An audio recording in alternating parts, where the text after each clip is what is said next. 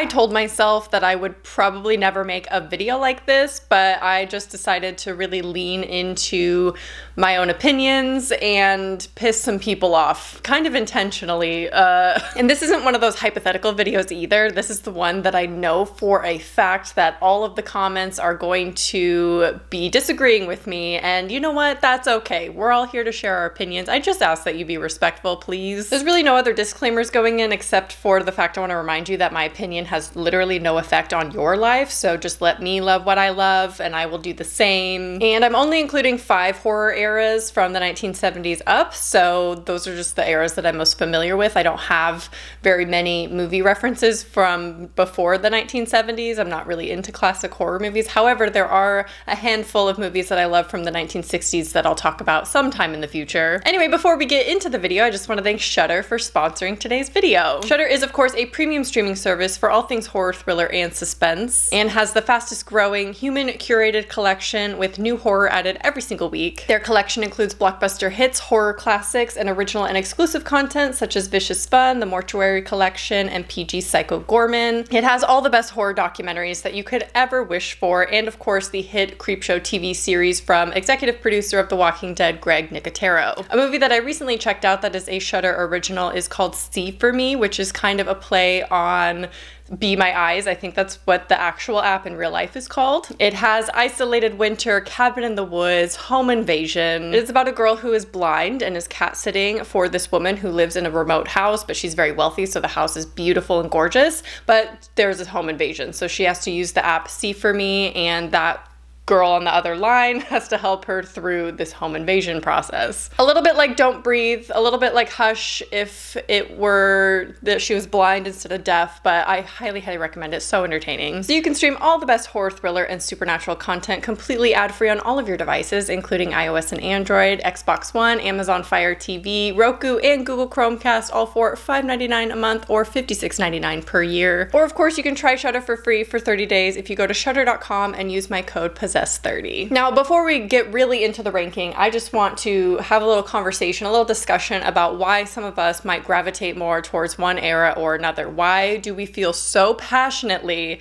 about our favorite eras of horror? And I have a feeling it really has nothing to do with the quality of movies that come out of that decade. I think maybe it'll help you understand why I personally rank these decades how I do and why you would definitely rank them differently. Firstly, there is no objective best and worst era of horror. Everyone likes different things from the horror genre. The horror genre is big enough for all of us to love things in it that we're all going to disagree, and there is no objective correct answer. Sure, there are those of us in the horror community that put quality of movie over everything, including enjoyment sometimes, but majority of us, I feel like, are in the horror community because at the end of the day, we just want to be entertained. The eras that I have the most fun with are very personal to me, and the same could probably be said for you. One, pure nostalgia. That's what is the driving force for me personally, and I think that can be said for a lot of the horror community. We have a love for a certain time period in general, not just with horror movies, but pop culture as well, and it not isn't necessarily the decade that we grew up in. However, I do have a theory that most of us are drawn to the era of horror that got us into the horror genre in the first place. Basically, the decade that we grew up watching. This isn't going to be the case for everybody, but I think generally that's what I notice. And also, we're just all so different. We're all going to love different things. Just like music and books, movies are a form of art, and everyone is going to interpret them differently and like different things. What you think is probably a terrible movie with a bad story is going to be someone else's favorite movie of all time, guaranteed. If you want to ruin your day, go read negative reviews on your personal favorite movies. Let's get into my personal ranking. Uh, and normally I would start from worst to best. I just feel like saving the best for last is ideal. However, you guys have been around on my channel for a while. You already know what's going to be the best era of horror for me and is the main reason, including the last place one, why people are going to be upset with this video. So we're gonna start with the best and work our way to the worst. The early 2000s. You knew that was coming. You knew I was going to put early 2000s first. I was born in 1990, so I was a teenager and growing up in the early to mid 2000s. Most of my favorite movies in general, not just in the horror genre, come from this decade. And I really used to be so embarrassed by this opinion because I felt like I was in such a minority. And when I first started this channel, you could not have pried that information out of me. In fact, I think I brainwashed myself into thinking that it wasn't my favorite era of horror, and I told myself that the classics were, um, which is just not accurate. And now that I'm getting older, it's like, I'm just gonna embrace my opinion. Love exactly what you love. I promise you, you're not alone, even if you feel like it. And I'm not embarrassed or ashamed anymore that this is my favorite era because this era is so iconic. So many fantastic horror movies and movies in general, media in general, have come from this era, and you can't argue with that. I think the early 2000s and the 2000s in general really get a bad rap for being the initial era of remakes, reboots, and sequels. And it was. We got a lot of American remakes from foreign movies. We have a lot of sequels to previous franchises. But if you look at all the original horror that came out of this era, they're just so fantastic. I did make a whole video on my favorites from this decade up here. I think there's also a list on my Letterboxd as well if you just want to look at the movie posters and see which ones I include. But this era will always always be my favorite. I think the 2000s gave us, for one, tech horror, a video that I just did, uh, supernatural movies like we've never seen before. Found footage was popularized during this era. Obviously, it didn't start in this era, but close to, uh, but it became very popular in this era. And of course, the most noteworthy, most recognizable horror franchises almost of all time came from this era. We have Saw, Final Destination, and Paranormal Activity. And this is the era that made me fall in love with horror in general and why I love PG 13 supernatural horror movies. Most of them came from this era. I feel like that's what this era really offered to the horror community. So I owe my entire career pretty much up until this point to this decade. So in second place, we have the 1990s. Of course, I am more drawn to the later 90s movies because they still kind of feel like that early 2000s-ness. I feel like my my favorite era, if I had to choose, would be the late 90s, early 2000s, but we're ranking decades, so we're going with all of the 90s. Again, I've done my favorite movies from this decade. If you want to check it out up here, I've done the first three decades we're going to talk about, so you can check the cars up here if you want to know my favorite movies from these decades. And I've actually fallen more and more in love with the 90s and 90s horror specifically as I get older. I feel like I'm discovering new movies from this era. I was too young to really grow up with a lot of horror from this decade. I did see my first two horror movies ever in this decade, of course. Probably a little bit too young, but they're uh, one's PG 13, so it's fine. I saw Pet Sematary and The Sixth Sense during the 90s. So the 90s really offered a continuation of the slasher genre, of course. We have the Scream movies taking place in the 90s and movies like Urban Legend, which is underrated, highly recommend. But we also got a few franchise movies as well, like the Child's Play movies and Nightmare on Elm Street, and of course Texas Chainsaw. So the sequels were still coming. I feel like that's never ended. We're in the 2020s now, still not ending.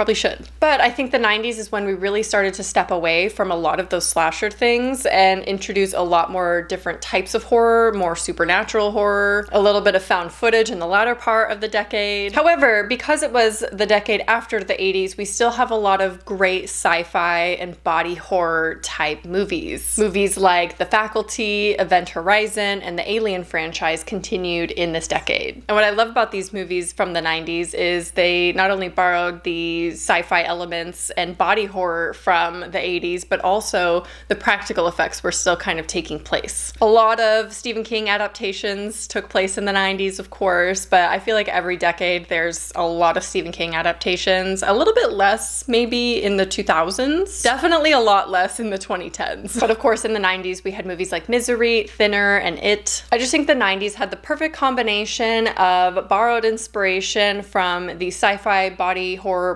effects of the 80s, but also including the kind of supernatural teen horrors that the early 2000s gave us, that was starting in the 90s. So it's definitely my second favorite decade of all time. Okay, so I think this next one is where we're really gonna get controversial. The, the first two, I think a lot of people agree 90s are great. Um, don't feel self conscious about that at all. Um, actually, I'm not self conscious about any of this video, but this next one is going to start to we're, we're gonna get a little controversial. Remember, I'm only ranking five, so you're gonna see which are the last two, and that's that's when people are gonna comment. So the next decade that I love, in third place, the 2010s. I know, just leave a comment now. Just do it. I just think the 2010s get a bad reputation, but I think that they have some of the most unique horror movies that any decade has to offer. I feel like you can't really pinpoint exactly what the 2010s are going to be famous for as far as the horror genre goes. When you look at every other decade, you can kind of notice a theme for all of the movies, but the 2010s, granted, you can pick out certain themes, there's many of them, they just offered so much to the horror genre. It seems that in decades prior, a lot of filmmakers were just piggybacking off of familiar concepts and things that were very effective in previous decades or even previous movies or franchises, and they were trying to make their own versions of that. Versus the 2010s, we really started to see a new type of horror come out. Obviously, we have very unique, different horror movies from every single decade. There's examples for all of that, but I think the 2010s as a whole, everyone was trying to do something different. Everyone was trying to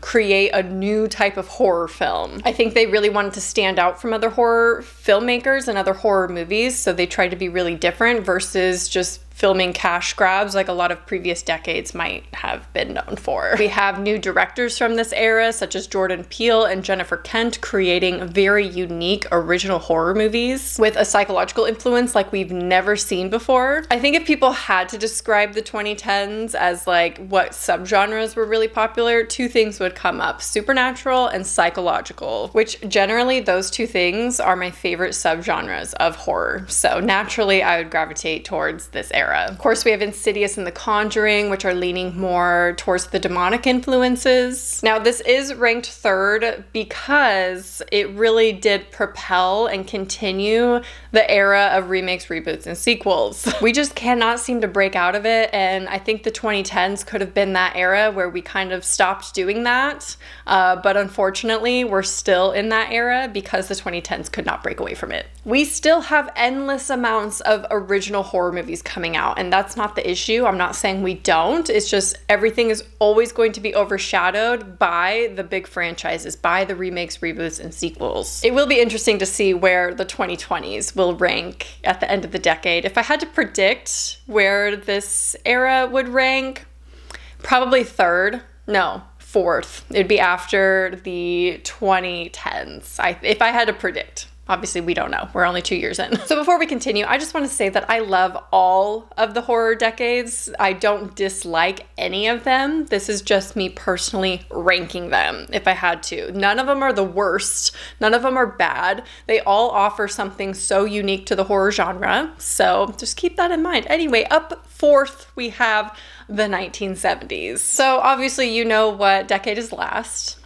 That's that's the one I think people are going to have an issue with. But the 1970s, let's talk about it. I absolutely love the grittiness and the strange ass movies that we got out of the 1970s. The 70s offered super original horror movies and many that quote unquote did it first that I think the 80s get a lot of the credit for, but the 70s did it first. I think slashers tend to be associated with the 80s, which that is definitely the era of slashers. However, Texas Chainsaw Massacre and Halloween are 70s movies. And I think those movies, of course, really put slashers on the map. This, of course, is the beginning of the Stephen King adaptations. We have the first ever being Carrie, and we have many, many of the originals that inspired later future remakes, specifically of the early 2000s. The early 2000s love to remake a 70s 70s horror movie. I haven't done my favorites yet for this decade, and I will name a few in just a second, but in general, this just has some of the best, well done traditional horror movies of any decade including the 80s, and I will die on that hill. Black Christmas, Texas Chainsaw, Alien, The Exorcist, to name a few. And honestly, the 70s is tied with the 2010s. I just rank it a little bit lower because I don't really have a good reason. They're they're tied. They're they're tied for third. That's what I'm gonna I'm gonna go with that. But do keep an eye out for my future videos on my favorites from the 70s and 80s and possibly the 60s. We'll see. And maybe top five instead of top 10, but that's okay. Okay, so in last place, obviously there's only one more remaining the 1980s. And yes, I'm very strong in that opinion. It is, I don't want to say one of the worst eras of horror because obviously it offered so much, but it is one of, if not the least original eras of horror. The 80s can be defined so simply, I feel, and obviously there's exceptions. I'm not saying we didn't get a lot of original horror, we didn't get a lot of creative, unique ideas or any supernatural movies from this era, but it can really be boiled down to like one or two things that's really going on in the 80s. And it was effective. It was a great time for that decade but it's just not my favorite, not my thing. This decade still holds some of my favorite horror movies of all time, so keep that in mind. John Carpenter's The Thing is one of my favorite movies of all time. It is a perfect movie to me and has body horror that cannot be topped, and I really you know, am sad that we can't embrace that kind of practical effects in today's era because I feel like with our technology and our makeup abilities, it would be so cool. And I do think the 80s gets a bad rap for its bad effects because obviously they're very cheesy, but I personally really enjoy the I still personally really get a kick out of all of the practical effects and weird effects that came out of the 80s. I think it's just so unique for that era and really entertaining. I know it's goofy and it looks cheesy sometimes, but I think it's really fun. That being said, it's ranked last because these are just not my favorite movies to seek out. Generally, I am drawn to supernatural, psychological, paranormal, PG 13, all of that kind of stuff. I'm not really into body horror slashers as much as those other genres. I've always been entertained by an 80s movie. Don't get me wrong, it's probably the most entertaining era of horror. But at the end of the day, they all seem to like follow this familiar recipe for a horror movie and they all kind of piggyback off of one another. This is that era that I was talking about when I said they kind of cash grab and try to copy one another and do what everyone else is doing as far far as like body horror and effects and things like that, slashers. This is probably the era of Stephen King adaptations, though. We have Cujo, Pet Sematary, The Shining, Cat's Eye, Firestarter. Oh, we also got Creepshow, which is one of my favorite Stephen King things of all time when he partnered with George A. Romero love Creepshow, but I think this was his era, like books and movies. We just didn't get enough supernatural horror from this era for me to rank it higher. I'm not saying objectively it's the worst one. For me personally, not my favorite. This is a personal list. We would not have horror as we know it today without the 80s. I'm not discrediting that and its impact on the horror genre, but I'm not going to be drawn to an era that is known for its slashers. That's not my favorite genre. And this is why I know that this video is going to make a lot of you guys upset, which is okay. Please leave a comment. I want to know what what is your ranking? What are your favorites from these decades? What's your favorite number one horror decade ever? I want to hear your rankings down below. But yeah, feel free to share your thoughts on mine. I know you will anyway. Just be nice, please. Thank you. Anyway, I hope you enjoyed this video and I will talk to you soon. Bye.